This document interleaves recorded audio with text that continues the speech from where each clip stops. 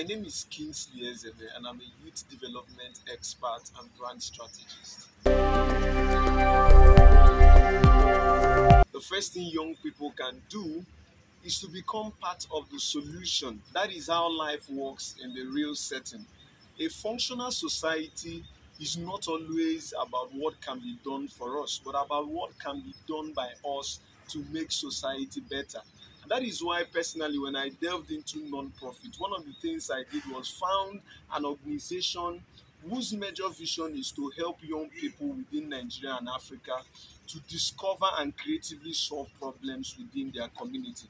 What I've come to discover by experience is that when young people become part of the solution, they automatically become positive because it takes positivity to profess solutions to ailing problems in society. So become part of the problems. Find out something you can do in your capacity as a young person within your community to make your society better. When you look around society, you discover that there are a vast majority of problems. One of those problems is enlightenment. One of those problems is illiteracy.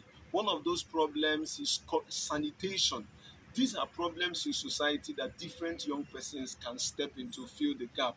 For instance, when we talk about something like female genital mutilation, okay, or we talk about diseases like um, maybe HIV and AIDS and different types of ailments, what young people can do is to step into society to enlighten people to galvanize themselves and organize each other to clean society, to clean their environment. So there are always things young people can do. And that is why I keep saying there's a way I say it. I say it this way that everybody's problem is somebody's ministry. What it means is that for every problem in society, there is someone who has been designed to solve that problem. So that problem you are designed to see is the problem you are designed to solve.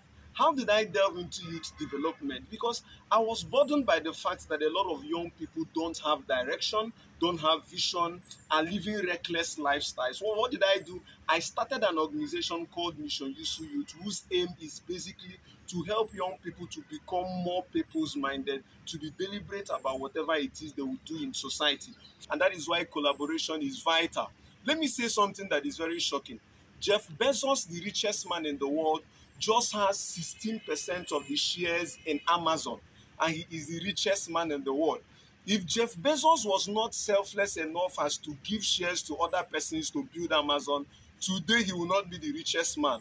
He may be the only owner of the company, but that company will not make him the richest man. So, collaboration, like I said, is the new competition. So, you have to let go of your insecurities and collaborate with people who are like minded, who think like you, and you take whatever it is you're doing very far. Man is a product of nature and nurture. Nature is how you were born. You were born African, you were born Nigerian, you have the Nigerian blood. But nurture talks about where you grew up in, the environment in which you grew up in. And those two things affect how you're going to thrive. What it means is that people should get to a point where they should not let their background to limit them. If it means leaving your current location, leave that current location. If it means leaving your family's house, leave your family house. Why? Because sometimes what you need is a paradigm shift for you to find your path in life. And oftentimes, that paradigm shift you need may not be found in your family or in your immediate location. And that is where we talk about exposure the more you go out, the more you interact with people of different backgrounds, the more you're better positioned to succeed in a society that is global and uh, more and diverse. Right? So that is why background is important. If your background does not help matter, grow above your background by changing location, changing position, changing association, or changing whatever it is you need to change for you to succeed. Where you're coming from has nothing to do with where God will take you or what He has got to do with you. I come from a family where no one has gone abroad, but I've gone to different countries of the world despite my background. What it means is that your destiny is also in your hand, it is not automatic. So you can take deliberate decisions today to get to where you're going in the future.